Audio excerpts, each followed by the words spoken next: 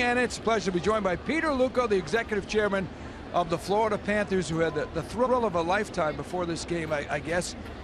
You threw out the first pitch. I tell you, it was what a great experience. One one pitch wonder, but uh, it, it you know being in sports my whole life, it, it was just a it was really special. And uh, all you guys at Fox are all my buddies. You, Nerves?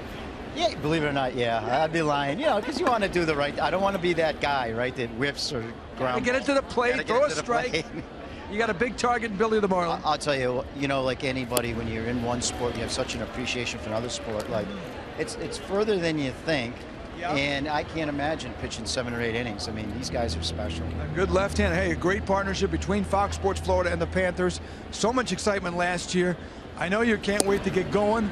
Uh, It's it's sad when it ends, but you're looking forward and it's right around the corner. I, I wish we could start camp uh, tomorrow. We have our prospect camp next week, but you know, you sign guys, we make these moves, and, and you just want to see the guys playing. And everybody loves the summer and they like their nights off, but uh, I want to be playing right now. A lot of talk about the moves.